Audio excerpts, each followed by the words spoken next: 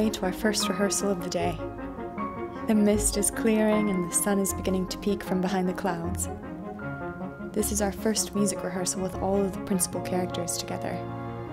It's always such an exciting point in the process.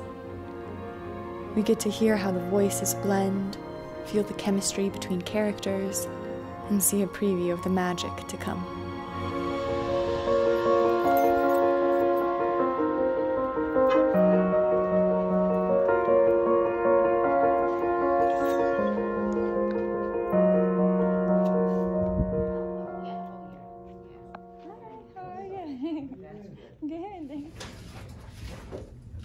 Comes your two big arias.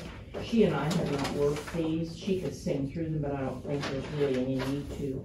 So after um, he sings that, the ending, there is quite a lot of. All the parts we've been working on individually are now coming together. Notes, rhythms, language, and interpretations. The beginning stages of creating an opera.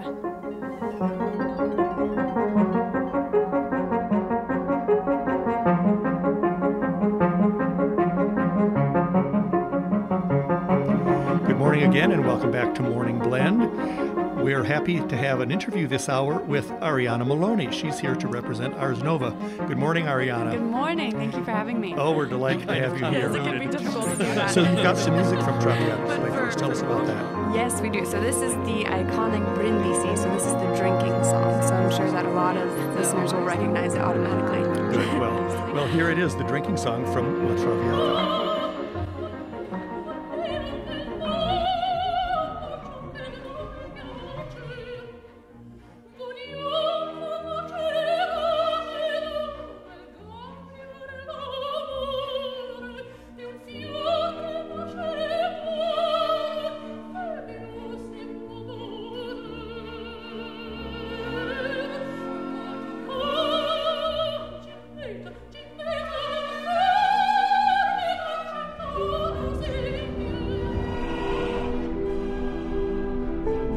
Now I'm just taking a moment to be in nature and quiet my mind before the evening rehearsals.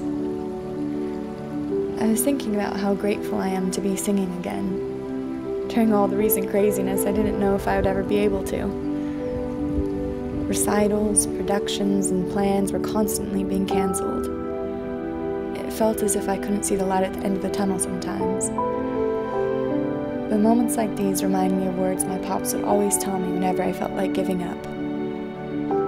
No matter what happens, you can't let, it get you down. You can't be afraid Can't be to afraid fail. to fail. Just keep a positive attitude and keep at it. A positive attitude and perseverance are key to success.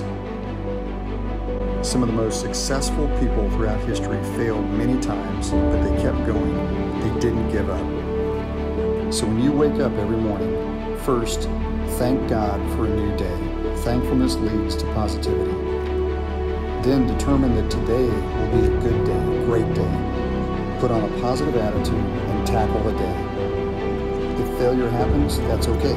Stay positive and persevere. Keep going, and you will succeed.